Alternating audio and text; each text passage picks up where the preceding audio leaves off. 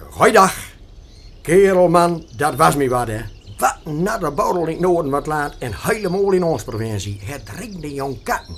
In stad is 20 streep water om erin komen. In wezen hebben ze al 24 mm had en dat boom op die millimeters van vuur doen. Het is toch wat. In Neug moest brandweer kelders leegpompen. En als je van Oscar richting Beem rieden, dan zou je dat laat overal sjomper door nat is. Eén kan wel in zwemmen. Als je dit hoort, Lu, wil je het misschien niet lopen. Maar het was de eerste afzetter van kletternat vuurjoor. Ja, Lu, het is echt woord, we gaan zomer tegemoet. Leerste stoevers ben vanmorgen met een beste poes zuidoostenwind over diek richting Twat verzwongen. En het mooie weer komt eraan, is al stoefbie.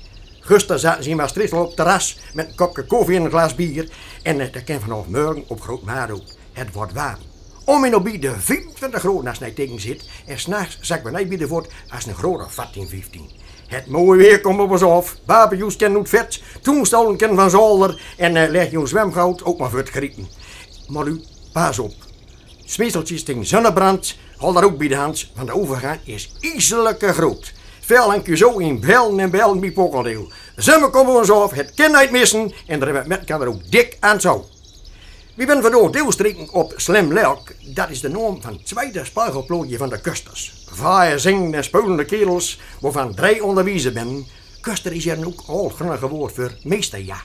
Ze hebben alle alle versjes van Beatles en Elvis Presley en dat soort lui van ijs opgenomen, maar ze hebben er zo wel een een grunnige tekst beschreven. En ik moet zeggen, nu alles wat ik gehoord heb, dat komt bepaald minder. Nee, eerlijk woord u, valt niet zingen. Ik heb al heel wat kusters org minder kwelen. En als zo'n nummer nou over twee gaat, hè.